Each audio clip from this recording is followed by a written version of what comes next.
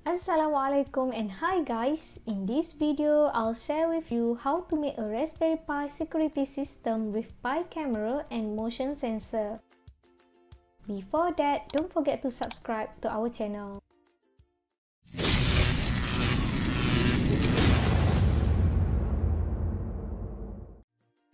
For this project, we are going to use Raspberry Pi 4B, Raspberry Pi 4B beginner kit without Raspberry Pi and adapter, PIR sensor module, USB-C UK plug, and jumper wires. Insert the SD card.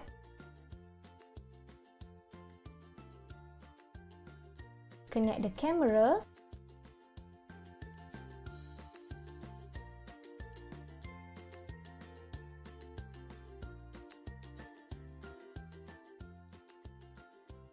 connect the PIR sensor module to ground 5V and GPIO 4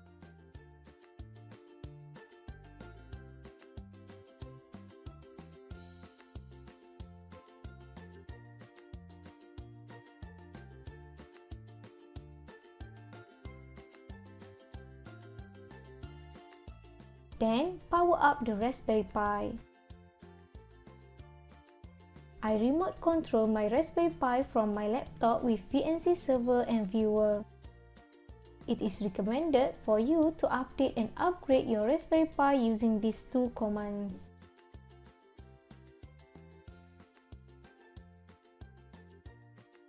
Please make sure that you have enabled your camera. Next, open Tony Python IDE. Open a new file and save the file.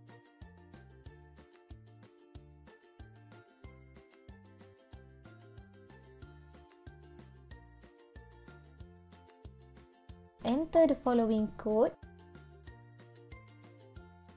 Save and run the program.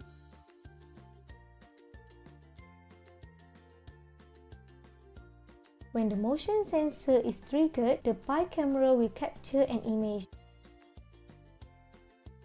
The new image should be saved to the desktop.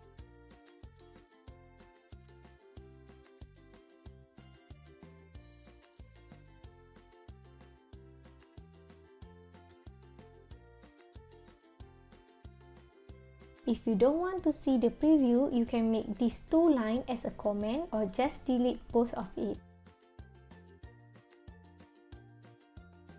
Now, let's record a video when the motion sensor is triggered. Amend the code to remove capture and instead add start recording and stop recording.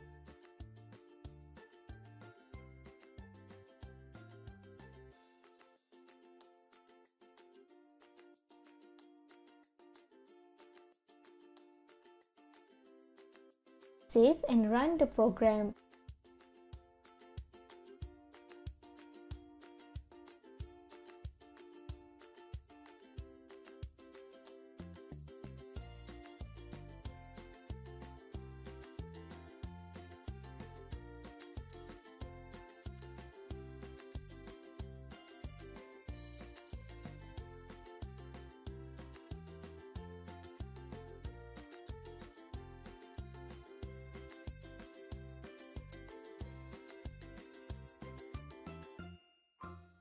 That's all for today. I'm Suat from Cytron Technologies. Thank you for watching.